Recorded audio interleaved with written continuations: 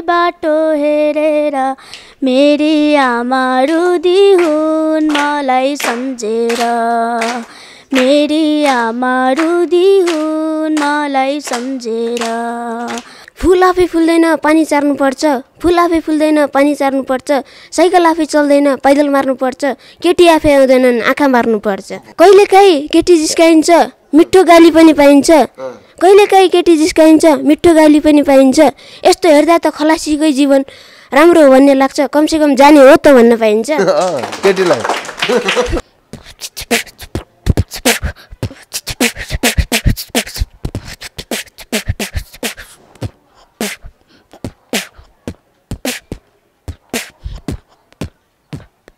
काफल खान्या कुया मर्योला जुन केरी गोलीले सिसा कि गोलीले। दर्शकबिन्द नमस्कार अनि हार्दिक स्वागत छ तपाईँलाई अनलाइन टिभी नेपालमा। तपाईँ अहिले अनलाइन टिभी नेपाल हेरिरहनु भएको छ र तपाईँहरूको माझ उपस्थित भएको छु म किरण पौडेल। दर्शकबिन्द आज चाहिँ हामी विशेष गरी काठमाडौँको भत्के पार्टीमा आइपुगेका छौँ। काठमाडौँको भत्के पार्टीमा नेपालमा रहेका एचआइभी सङ्क्रमित बालबालिकाहरूको लागि एउटा संस्था स्थापना भएको छ। संस्थाको नाम हो बेबी लाइफ होम।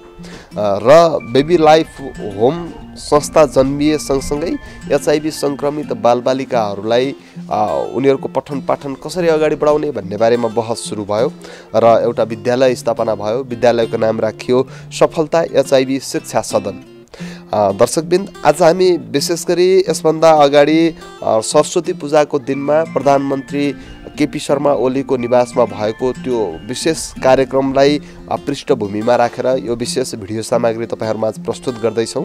त्यो विशेष कार्यक्रममा प्रधानमन्त्री केपी शर्मा ओलीले ओल्ड रेकर्ड राख्न सफल भएको प्रमाणपत्र जुन सफलता एचआइबी शिक्षा सदनको नाम सूचीकृत भएको थियो र एचआइबी नाम राखेरै आधिकारिक रूपमा पहिचान दिएरै विद्यालय सञ्चालन भएको र यो विश्वमा एकमात्र विद्यालय भएको भन्ने जुन त्यो बेहोरा उल्लेख गरिएको प्रमाणपत्र थियो त्यो प्रमाणपत्र सफलता एचआइबी शिक्षा सदनले प्राप्त गरेको छ र त्यसपछि आज हामी यो विद्यालयमा आएर यो विशेष भिडियो सामग्री प्रस्तुत गर्दैछौँ।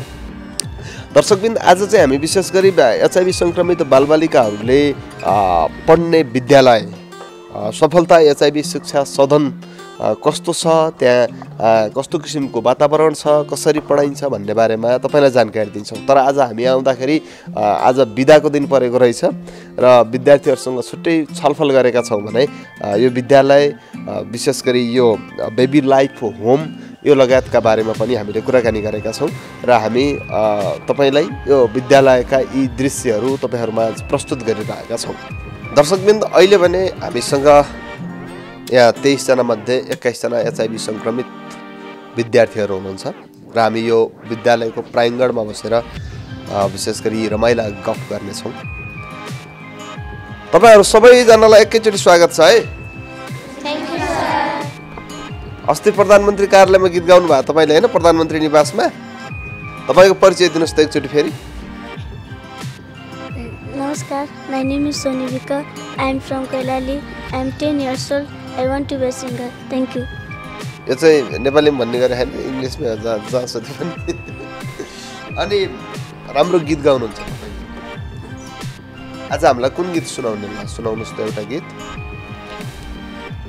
पिँढीमा बसेर मेरै बाटो हेरेर मेरी आमा रुदी हुन् मलाई सम्झेर मेरी आमा रुदी हुन् मलाई सम्झेर परदेशी छोरो नआउँदा चिठी पत्र नपाउँदा परदेशी छोरो नआउँदा चिठी पत्र नपाउँदा मनमा बिरह चल्दो हो आँसुले चोली भिज्दो हो। मनमा बिरह चल्दो हो आँसुले चोली भिज्दो हो। पिँढीमा बसेर मेरै बाटो हेरेर मेरी आमा रुदी हुन् मलाई सम्झेर। काम गर्न नसक्दा खान लाउन नपाउँदा काम गर्न नसक्दा खान लाउन नपाउँदा जाडोमा लुकलुक काम्दी हुन् बोकै बसी रुदी हुन् जाडोमा लुकलुक काम्दी हुन् बोकै बसी रुदी हुन् पिँढीमा बसेर मेरै बाटो हेरेर मेरी आमा रुदी हुन् मलाई सम्झेर। छाउन ढिलो भइसक्यो छाप्राको छानो चिदो हो।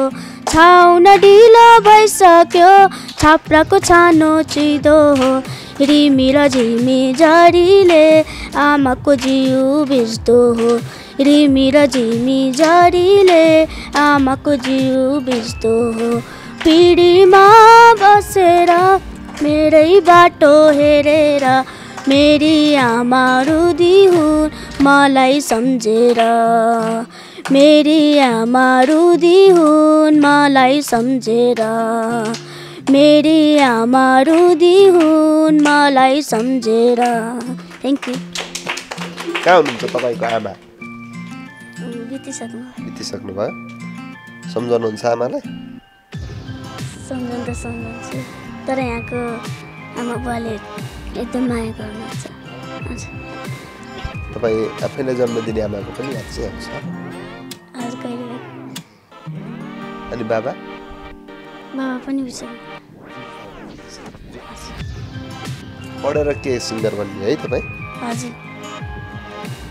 सिङ्गर बन्न त धेरै पढ्नुपर्छ नि है। अनुशासित पनि हुनुपर्छ। कतिको चकचक गर्नुहुन्छ गर्नु? चाहिँ गर्नु। के गर्नु? किन डराउनु भयो हाम्रो टिचर? ल अर्को गीत कुन सुनाउने? छोटो सुनाउनु होला है यो धेरै लामो भयो तपाईँलाई गाह्रो हुन्छ गीत गाउँदाखेरि छोटो सुनाउनु है।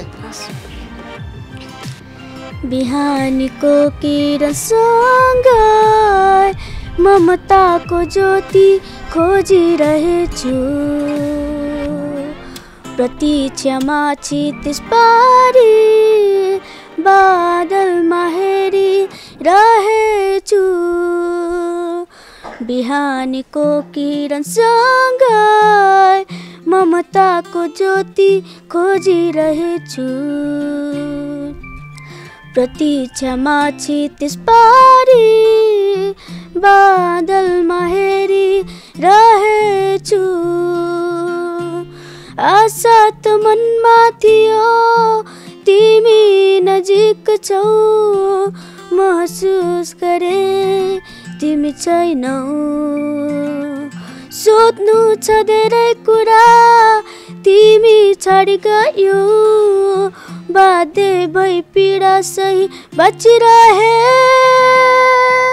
मेरी आमा मेरी आमा मेरी आमा तिमीलाई खोज्छु मेरी आमा।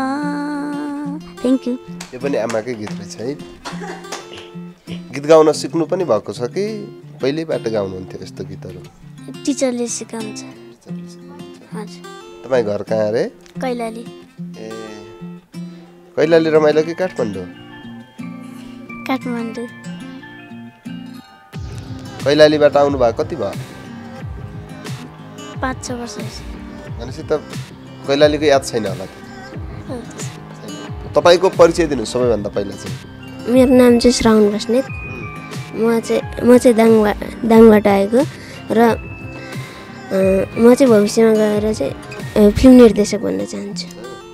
निर्देशन गर्ने फिल्म। ठिक छ कुन सायरी सुनाउनुहुन्छ तपाईँ आज हामीलाई? दुई चारवटा। फुल आफै फुल्दैन पानी चार्नुपर्छ फुल आफै फुल्दैन पानी चार्नुपर्छ साइकल आफै चल्दैन पैदल मार्नुपर्छ केटी आफै आउँदैनन् आँखा मार्नुपर्छ। मैले तिमीलाई प्रेम गरेँ भला सम्झेर मैले तिमीलाई प्रेम गरेँ भला सम्झेर तिम्रो बाउले ठोक्यो मलाई तबला सम्झेर। तालिहाल्ने पुगेन है यस्तो आकाशमा उड्ने चरालाई ढुकुर भनिन्छ आकाशमा उड्ने चरालाई ढुकुर भनिन्छ प्रेम गरेर धोका दिनेलाई कुकुर भनिन्छ। अनि कुकुर्नी चाहिँ भनिन्छ। भनिन्छ कहिले? कहिलेकाहीँ केटी जिस्काइन्छ मिठो गाली पनि पाइन्छ। कहिलेकाहीँ केटी जिस्काइन्छ मिठो गाली पनि पाइन्छ। यस्तो हेर्दा त खलासीकै जीवन राम्रो हो भन्ने लाग्छ। कमसेकम जाने हो त भन्न पाइन्छ। केटीलाई। मान्छे हेर्दा त सोझो लाग्थ्यो त। अरू छ? एउटा निखिल जस्तो नउफ्रियो खुट्टा बाच्चेला निखिल जस्तो नउफ्रियो खुट्टा बाच्चेला राजेश समाल जस्तो कपाल नपाला स्याम्पू सकिएला ठिक छ तपाईँलाई धेरै धेरै धन्यवाद। अरू छ? छैन। तपाईँ त ख खरै हुनुहुन्छ जस्तो लागिरहेको हुन्छ तपाईँलाई पनि धेरै धेरै धन्यवाद छ। तपाईँको फिल्म निर्देशन गर्ने जुन सपना छ त पुरा होस् हामी त्यही कामना गर्छौँ। राम्रोसँग पढ्नु होला यस्तो यस्तो कुरा थाहा भएपछि त तपाईँले फिल्म निर्देशन गरिहाल्नुहुन्छ। यस्तै यस्तै जोक्स कविता गजल मुक्तक अरू कसरी सुनाउनुहुन्छ? निकै रमाइलो भइराखेको छ। तपाईँहरूलाई रमाइलो भएको छ छैन भएको छ नि है? सोचिराख्नु होला है के भन्ने भनेर आफ्नो। तपाईँको नाम? तपाईँ के हामीलाई आज सुनाउने देखाउने? ल सुरु गर्नुहोस्।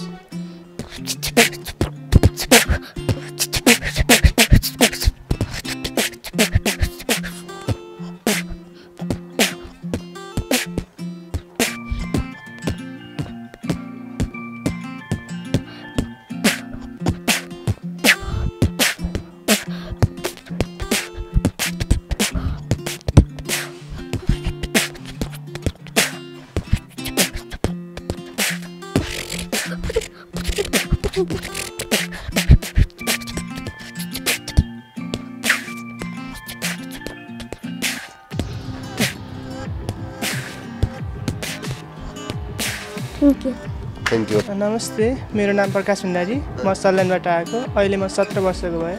भविष्यमा गएर मेकानिकल इन्जिनियर बन्न चाहन्छु। चाहिँ तपाईँले हामीलाई जोक सुनाउनुहुन्छ है हँसाउनुहुन्छ। ल हाँसौँ एकछिन अब एकचोटि ऊ चाहिँ बुवा र छोरा रहेछन्। छोरालाई चाहिँ अमेरिका पढ्न पठाएको रहेछ। अनि बुवा र आमा पनि हुने रहेछ। आमा चाहिँ बित्नुभएको छ अनि बितिसकेपछि दस वर्षपछि चाहिँ छोरा चाहिँ नेपाल आएछ। नेपाल आएर बुवालाई सोधेछ। बुवा बुवा आमा खै त भने आमा त मरिसक्नु भनेछ बुवाले चाहिँ। अनि छोराले भनेछ मलाई पहिले किन नभन्नु आएको तँलाई म सरप्राइज दिनको लागि भने आमा बितेको पनि सरप्राइज। अनि अर्को? अर्को। एकजना चाहिँ गणेश भगवान्को ठुलो भक्त रहेछ एकजना व्यक्ति चाहिँ। ऊ व्यक्ति उसले चाहिँ गणेश भगवान्सँग मलाई म धेरै गरिब छु। मलाई घर चाहियो भनेछ। अनि गणेश भगवान्ले पनि घर दिनुभएको छ। अनि त्यसपछि फेरि ऊ गर्न थाल्छ म अब मलाई पैसा पनि चाहियो भनेछ पैसा पनि छ। अनि अब पछि चाहिँ भनेछ भगवान्जी भगवान्जी म यत्रो ध यत्रो त भइसकेँ पैसा पनि भइसक्यो। मसँग पैसा पनि भइसक्यो घर पनि भइसक्यो। अब मेरो मलाई श्रीमती पनि चाहियो भनेछ अनि श्रीमती पनि दिइदिनु छ। अनि लास्टमा चाहिँ यो सबै मसँग भइसक्यो। अब मलाई एउटा कार चाहियो टक्सन कार चाहियो भनेछ तँलाई कहाँ कार दिन्छु? आफू त कार नपाएर छुचुन्द्रोमा चढ्नु परेछ भनेर ठिक छ ठिक छ तपाईँ सल्यानबाट आउनु हजुर। सत्र वर्ष हजुर। तपाईँलाई आफू एचआइबी सङ्क्रमित हो भन्ने चाहिँ कहिलेबाट थाहा भयो? थाहा त मलाई सल्यान नै हुँदा थाहा थियो। तर सबैले रोगहरू भन्थे त्यति विस्तृत रूपमा चाहिँ थाहा थिएन। मलाई ए आएपछि थाहा भएको एचआइभी एचआइबी भनेको के रहेछ भन्ने कुरो चाहिँ यहीँ आएपछि थाहा ए आएर थाहा भयो। भयो घरमा को को हुनुहुन्छ तपाईँको? मेरो घरमा त मेरो आमा बुवा कोही पनि हुनुहुन्न। यही यही हुनुहुन्छ यहीकोलाई म आमा बुवा भन्छु। हाम्रो जन्म जन्म दिने आमा बुवा नभए पनि कर्म दिने आमा बुवा हुनुहुन्छ। अनि उता घरमा चाहिँ कोही पनि हुनुहुन्न। उता मावलामा चाहिँ हजुरआमा मामाहरू हुन्छ। आमा बुबा सानोमै बित्नुभयो? म पाँच वर्षको हुँदाखेरि बित्नु भएको अलिअलि सम्झना छ जन्म दिने आमा बाबाको अलिअलि सम्झना छ। तपाईँ यहाँको सबैभन्दा जेठो पनि हो क्यारे है? यो परिवारको अथवा स्कुलको? धेरै अरू सङ्क्रमित तपाईँका भाइ बहिनी अथवा तपाईँका दादा दिदीहरू पनि हुनुहुन्छ होला। उनीहरूलाई केही तपाईँको सन्देश अथवा केही भन्न चाहनुहुन्छ हामी मार्फत? भन्न चाहन्छु। उहाँहरू अहिले जति जति पनि हुनुहुन्छ एचआइभी सङ्क्रमितहरू उहाँलाई के भन्न चाहन्छु भने लुके छ नि लुकेर नबस्नुहोस् खुलेर बस्नुहोस् खुलेर पढ्नुहोस् खुलेर कामहरू गर्नुहोस्। हा- हामी पनि यहाँ केही गर्न सक्छौँ। यो एचआइभी भनेको त एउटा रोग होइन नि त यो त लक्षण मात्रै हो भन्न चाहन्छु। भनेको सबैजना खुलेर एकजुट भएर आत्मविश्वास लिएर अगाडि बढ्नु। हजुर। तपाईँ चाहिँ मेकानिकल इन्जिनियर बन्ने। हजुर। हुन्छ तपाईँको सपना पुरा होस् हामी कामना गर्छौँ है। हस् तपाईँलाई पनि धेरै धेरै धन्यवाद। थ्याङ्क यू सर करणजीले कुन गीत सुनाउनुहुन्छ आज हामीलाई? बुबाको हुन्छ सुनाउनुहोस्।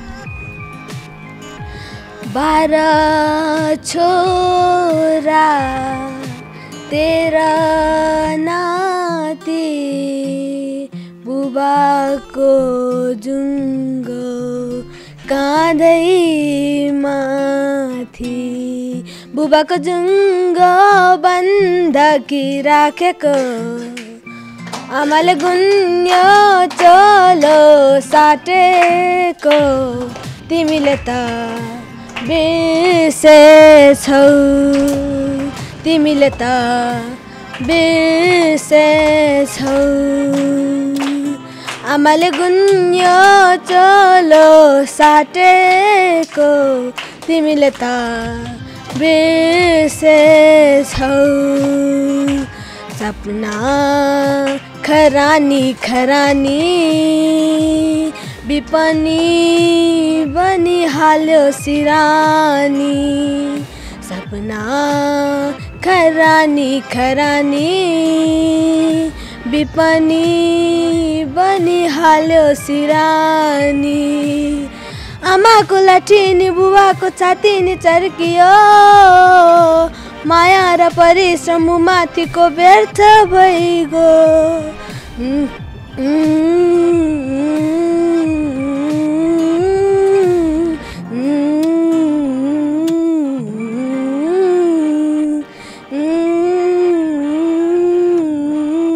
धेरै धेरै धन्यवाद हजुरलाई हजुरको हजुरको घर चाहिँ कहाँ सल्यान सल्यान ए को को हुनुहुन्छ हजुरको घरमा मम्मी हजुरबा हजुरआमा आन्टी हुनुहुन्छ अनि बाबा बाबा बित्नु ए अनि यहाँ तपाईँलाई भेट्न आउनुहुन्छ उहाँहरू कहिले काहीँ सल्यानबाट को को आउनुहुन्छ नि मम्मी आउँछ दाई आउँछ माइजू मामा घर जान मन लाग्दैन? उहाँहरूसँगै फर्केर?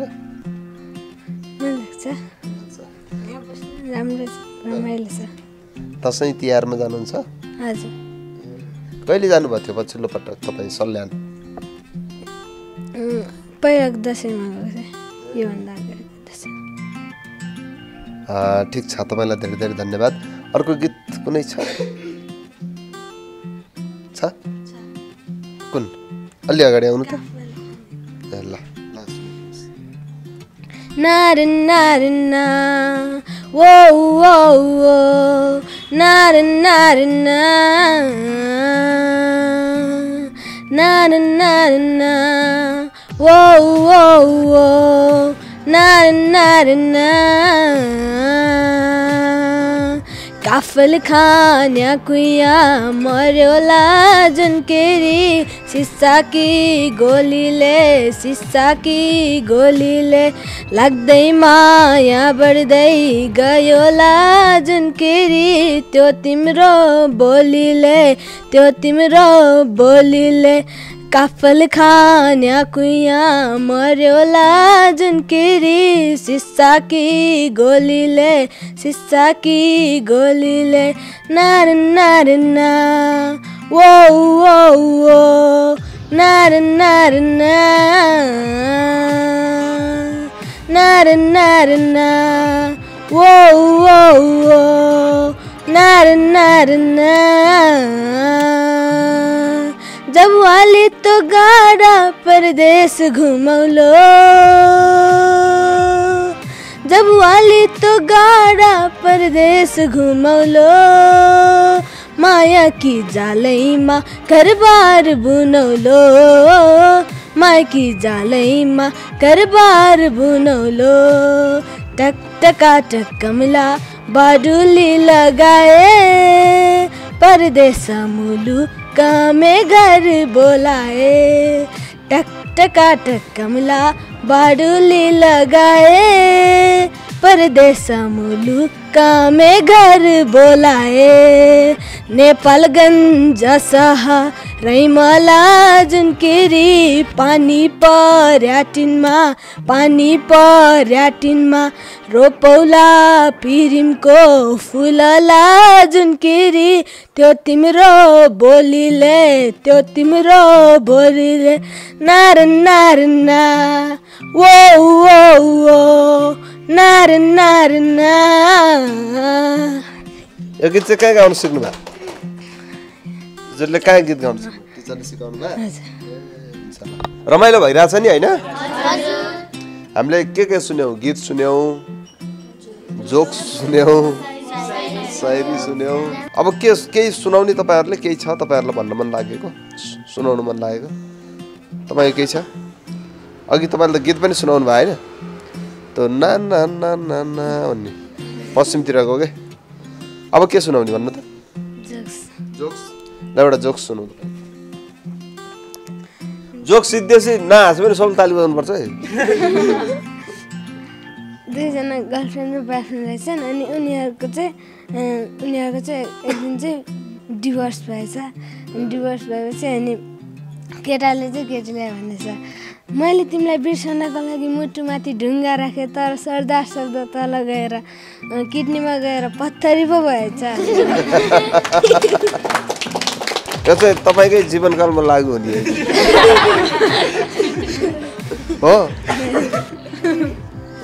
तपाईँ लभ गर्नु भयो छैन? अलिक सानै छ भने कसले लभ गर्नुभएको छ कसैले गर्नुभएको सब पढाइमा केन्द्रित हुनुहुन्छ।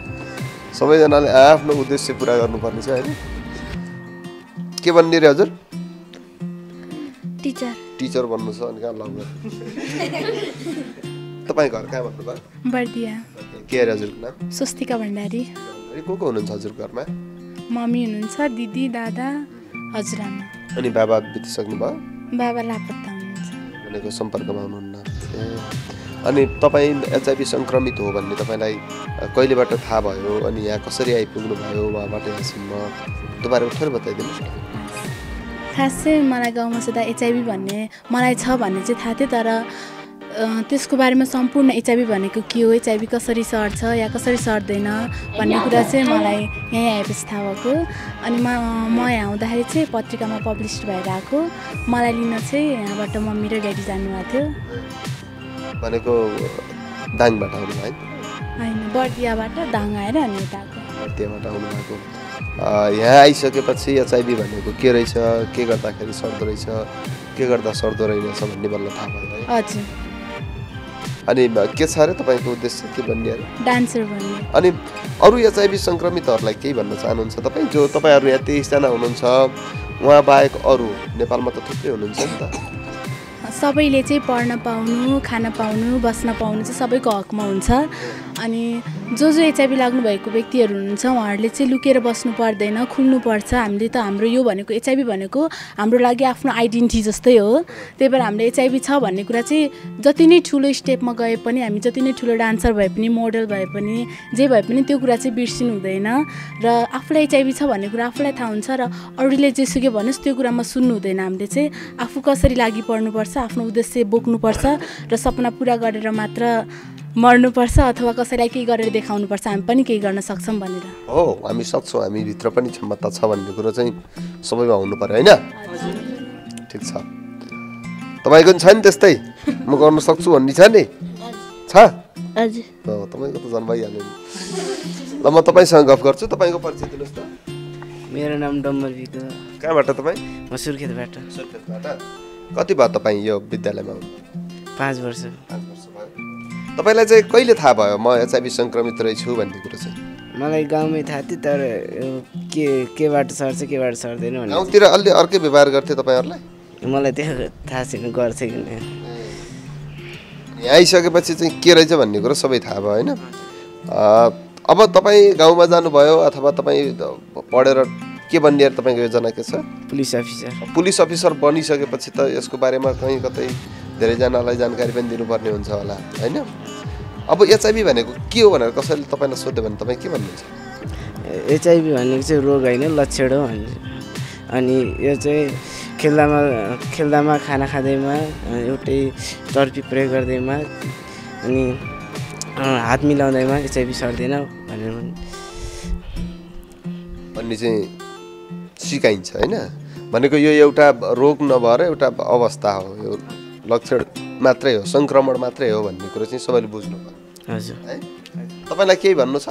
यसबारेमा कसैलाई हामी यो हौ है हाम्रो हामीभित्र पनि यो किसिमको क्षमता छ हामी यतिसम्म गर्न सक्छौँ अथवा यो लक्ष्य र उद्देश्यका साथ हामी अगाडि बढेका छौँ भनेर कसैलाई केही भन्नु मन लागेको छ तपाईँलाई? हामी पनि एउटा मानव जाति नै हो। र हामी पनि के गर्न सक्छौँ भनेर चाहिँ हामीले अगाडि बढ्नुपर्छ।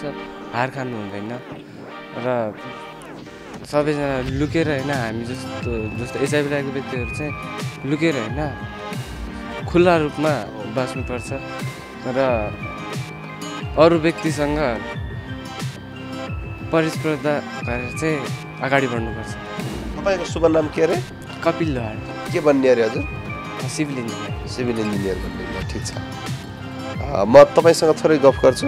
तपाईँ त प्रधानमन्त्रीको निवासमा नै खुबै चर्चित हुनुभएको थियो। अलि अगाडि आउनु होला तपाईँको शुभ नाम उर्मिला आर्यन उर्मिला अर्याल तपाईँ कहाँबाट आउनुभयो अरे म दाङबाट आएको। तपाईँलाई चाहिँ कुन अवस्थामा कसरी थाहा भयो म एचआइभी सङ्क्रमित रहेछु भन्ने?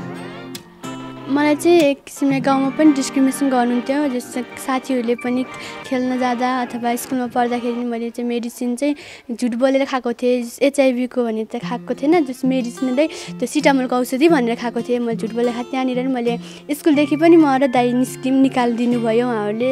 त्यसपछि त्यस ए एचआइभी के गर्दा सर्छ र कसरी सर्छ भन्ने कुरा चाहिँ बेबी लाइफ होममा आएपछि मात्र थाहा भयो। भनेको उता छँदाखेरि चाहिँ तपाईँलाई तपाईँका साथीहरूले तपाईँको त्यहाँको स्कुलले भनेको अर्कै नजरले उनीहरूलाई के भन्न चाहनुहुन्छ अहिले यहाँ आइसकेपछि चाहिँ? त्यस सबैको सबैले आफ्नो आफ्नो चाहना हुन्छ इच्छा हुन्छ त्यो कुरा हजुरले त्यो बाटो नछेकिदिनुहोस्। जस्तो उनीहरूको पनि उनीहरूलाई त हामी सबै एचआइभी भएको एचआइभी लागेको व्यक्तिलाई पनि अहिले सबैले डिस्क्रिमिनेसन नै गर्नुहुन्छ प्रायः। त्यो क्यान्सर त्यस्तोलाई भन्दा एचआइभीलाई डिस्क्रिमिनेसन गर्नुहुन्छ त्यस कारणले चाहिँ हजुरले डिस्क्रिमिनेसन नगरिदिनुहोस् उहाँहरूलाई। उहाँहरूको पनि त्यो आफ्नै एचआइभी भनेको त अब हामीले के बुझ्नुपर्छ यो हाम्रो आइडेन्टिटी हो हामी खुल्नुपर्छ र हामी सबैले खुलेरै केही गर्न सक्छौँ भनेर अगाडि बढ्नुपर्छ भन्छु। के बन्ने योजना छ त हजुरको? म चाहिँ पछि गएर नेपालकै पहिले एचआइभी लाएको मोडल बन्नु छ। हो। अहिलेसम्म छैनन् है त्यस्ता मोडलहरू हजुर हुनुहुन्न। ठिक छ ठिक छ। तपाईँको सपना पुरा होस्। अरू अब तपाईँले एउटा फेरि अर्को जोक सुनाउने हो र? बडा मजाले हेर्नु भएको सायरी। अरू केही छ? तपाईँहरूबाट केही सुन्न हामीले सुन्न पाइने केही? तपाईँ केही सुनाउने? नसुनाउने। ल हुन्छ तपाईँहरू सबै आफ्नो योजनामा आफ्नो जुन उद्देश्य छ त्यो उद्देश्यमा एकबद्ध भएर लाग्नु होला। है? हामी यही कामना गर्छौँ। हामीसँग कुराकानी गरिदिनु भयो तपाईँहरू सबैजनालाई एक्काइसजनालाई नै धेरै धेरै धन्यवाद। अरू दुईजना साथीहरू आइसकेपछि हामीहरू आउ आएको थियो एकदम मिस गरेको थियो भनिदिनु होला है? हस्। हामीले गर्नुपर्छ है त? हस् ल। नमस्कार।